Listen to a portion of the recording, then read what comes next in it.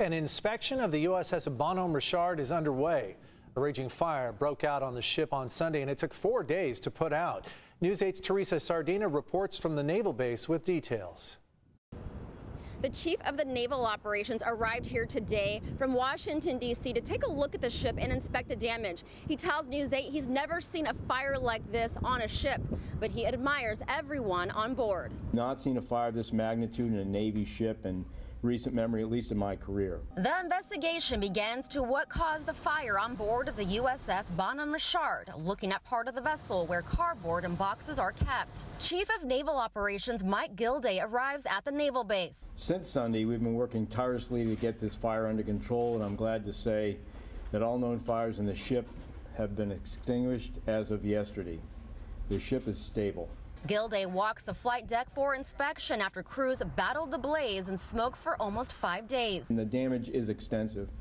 Uh, there is obviously electrical damage to the ship, there's structural damage to the ship, and mechanical damage to the ship that we need to assess in much more detail. According to base officials, on Sunday, the ship was undergoing maintenance work when the fire erupted, stating its built-in flame suppression system was inoperative. Chief Gilday discusses two main factors that caused extreme damage, wind and a series of explosions. The commanding officer made some very sound decisions in terms of how to attack the fire very deliberately. He says safety criminal. To make sure there's no malfeasance uh, at, the, at, the, at the root of the fire. And command investigation take high priority in the overall investigation. Gilday says those combating the fire measured heat slightly over 1,000 degrees. Gilday says the biggest takeaway from the inspection, besides the damage, is the people, humble crew members, and the high level of emergency-based training and preparedness.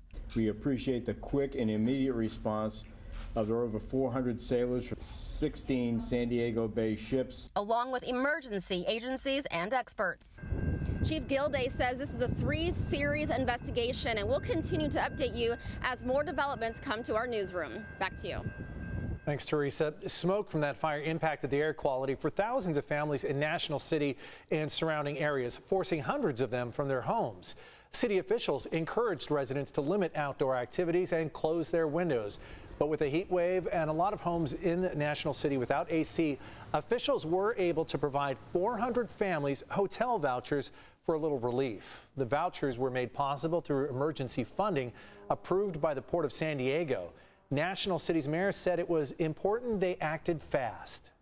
National City um, has, uh, alongside um, Barrio Logan, some of the highest uh, respiratory illnesses, including asthma, uh, because we are surrounded by freeways.